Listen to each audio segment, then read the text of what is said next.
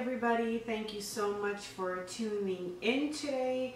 Now, if you looked at the title of the video and you're a little bit lost, you might want to check out the video before this one. It's an announcement video which will explain why this video is going live.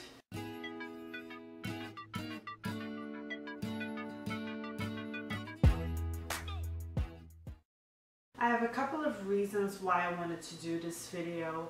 First off, I'm very happy to have a platform where I can share, you know, stuff that is important for me to share with you guys, but also for me to look back upon. So I'm very excited to document this journey so I can look back at this maybe one day with my little daughter or son or maybe not so little at that point and to you know just see what went on and what I was doing and how I was feeling throughout my pregnancy. And also I feel like it helped me in a lot of ways looking at other pregnant ladies and seeing what their first trimester looked like their second trimester and all that good stuff. So hopefully this might be helpful for some of you or some of you just you know would want to know what's happening and how I'm feeling this is the video to watch, I guess.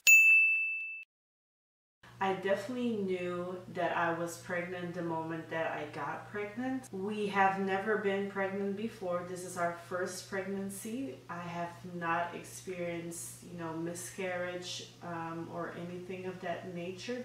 Thank God. And inshallah, that will never happen either. It's just that I'm very in tune with my body so I will notice changes immediately if I feel different. And it's you know new type of symptoms that I've never had before. I will try to make a connection for myself. If not obviously I would go see a doctor before I actually took the pregnancy test, I saw some signs. First off, I can't even explain how tired I was. If, if I could sleep a full day and just wake up to eat, I would have done that. So uncomfortable is not the word, but I was very upset with being so exhausted just because you know you want to do stuff you want to get things done. Even you know tasks around the house were like a boot camp for me. Another thing was cramping very heavy cramping that you can definitely connect to period pains which basically means that your womb is you know expanding for what is yet to come. And it's a very not irritating feeling but also because I thought I was pregnant I you know obviously didn't want to take any pills for it. And usually if I have that level of cramping during my period, I would take like a period, you know, painkiller, you know, specifically targeting that area. But in this case, I stayed away from it, so I just had the full-blown cramping, and that would happen like a couple of days out of the week, and it would last for maybe a half an hour or so. So it was very different. Besides that, also when I would lay down, I would see my stomach thump. Now, of course, when you're just pregnant, that's not immediately your baby and the heartbeat or you see movement. It's none of that. What it is is a vein pumping the extra blood to your baby.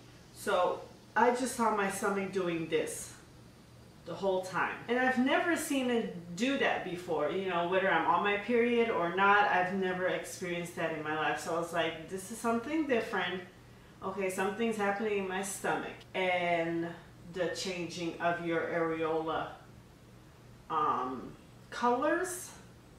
Because let me tell you, if you have like pinkish, fluffy, cotton candy type of areolas, they go brown. Okay, if you had brown ones before, I assume they just stay brown.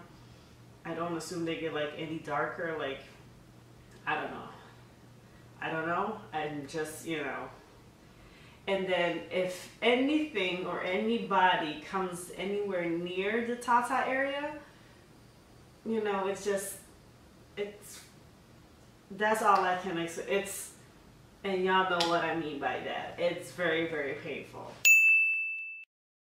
Now, I actually took the pregnancy test when I was three days late because I wanted to wait and taking the test until I was, you know, until it was going to be absolutely sure. I'm sorry if you hear the bird. Until the test was going to be pop. Until I was absolutely sure that something would pop up on the pregnancy test. Because sometimes if you take it too soon, it could be negative or false negative, false positive, you know, I, just, you know, I wanted to avoid that. So I took the test March 18th and I was pregnant.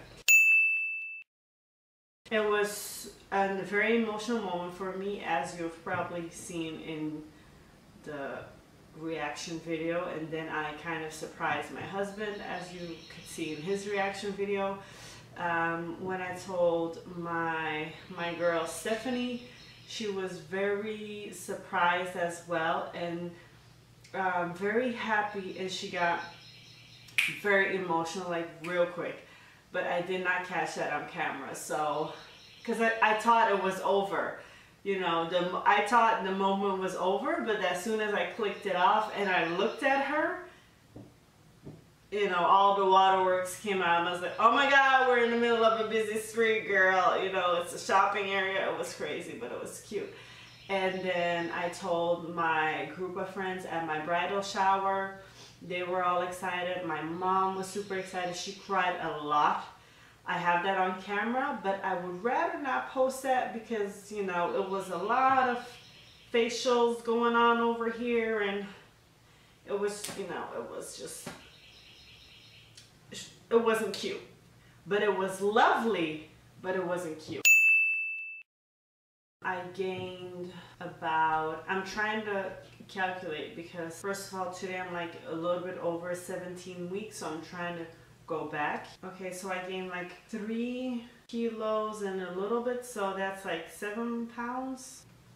That sounds crazy, but that's how much I gained in the in the first trimester. Other stuff that will change is obviously, you know, your breasts will begin to plump up a little bit. The tiredness really continued throughout the whole first trimester. Something that I deal with being pregnant or not is low blood pressure and having a low sugar that will actually only get worse during pregnancy. I mean, not I don't want to sound dramatic. It is known that in pregnancy your blood will your blood pressure will drop. So, and sometimes it would really get to the point where my routine is my usual morning routine is waking up, getting myself in the shower, brush my teeth, get dressed, come out and then eat my food. At this point, I'm no longer able to do that because as soon as I'm in the shower and I'm like near the end of the shower, I can already feel I'm starting to like get hot. I'm starting to get woozy in my head.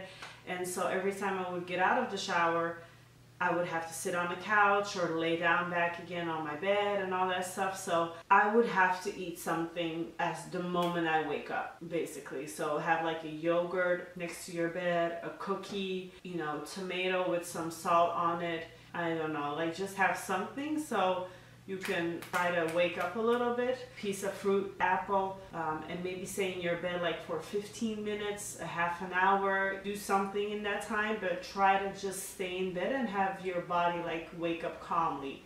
I had a blackout one time while I was on the tram going to Central Station. That was not fun. That's the first time I've ever blacked out because I'm not the type to even faint. If I have my episode, I would call it, what I would do is throw up. Um, and it's not like throwing up of food, it's really throwing up of saliva and just um, mucus and stuff. So I bumped my head into the tram and I was out for maybe 10, 20 seconds. And when I woke up for all the people from Antwerp, we were at Harmonie and so I just stepped out the tram because that's an open space. There was a lot of air. I just had to like get my life. Something that I was dealing with as well, going to the toilet a lot, which can become a drag, especially being in Belgium because not every store has a restroom over there and if there is, half of the time or maybe a little bit more than half of the time, you have to pay for it. So it's just, you know, that's that was one of the reasons why I was happy to be back. I was like, let me go to Target, let me use the restroom. Let me go to Ross, Let me use the restroom. Let me go to Walmart.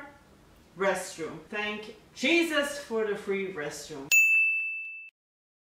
I was craving cheeseburgers and watermelons. I mean, obviously not at the same time. I was really wanting to eat some foods that I can't have now, that I can't have now, which is like cold cuts. You can only have it if you heat them up, but I'm not about that life. Sushi, sashimi, oh, a, a poached egg. Oh my God. The sourdough bread, some avocado, and a poached egg.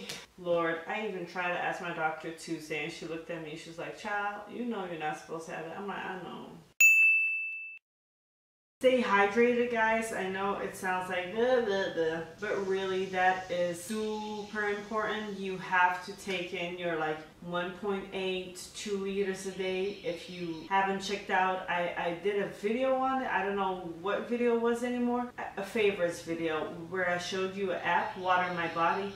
That bad boy will make noise if you haven't, you know, drank a cup of water in like an hour or a half an hour. You can set like a kind of timer and I would highly suggest that because it's very important. I mean, you should be drinking your amount of required water always, you know, but being pregnant and you're, you're losing a lot of fluids, you're going to the toilet a lot, just be mindful of that. But anyways, guys, that was it. If I have anything, you know, popping up in my head, if I have anything popping up in my head at the end of this video, I will make sure to put it down in the description box. So definitely do check that out as well. I want to thank you so much for tuning in and just know that we are very excited and very nervous and happy and anxious and grateful and terrified all at the same time and that is very normal and common for first time parents I know but it's still it's you know a journey when you're on it. We're just very it's been a good year okay people? It's been a good year that's all I can say. It's been a good year and inshallah it will just God willing it will just continue to be an awesome year and yeah thank you so much for being on this journey with us. And I will see you in the next video guys. Bye. Mwah.